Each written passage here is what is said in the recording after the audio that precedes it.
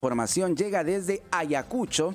La Fiscalía, atención, el Ministerio Público archivó la investigación contra Ruth Bárcena, la mujer que agredió a la presidenta Dina Boluarte. Tenemos toda la información con Tania Torres. Tania, adelante.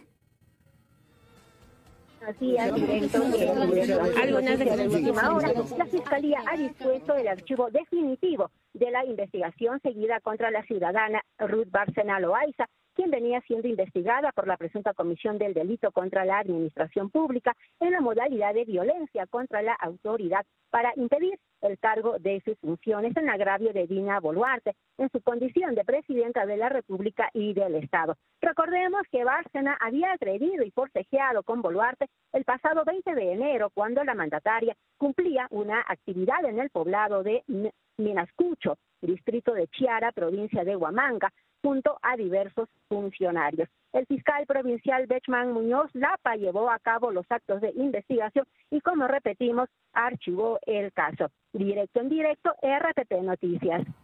Gracias, Tania, por esta información. Ya lo escucharon entonces, amigos. La Fiscalía archiva la investigación contra Ruth Bárcena, quien agredió a la presidenta Dina Boluarte. Vamos a cambiar.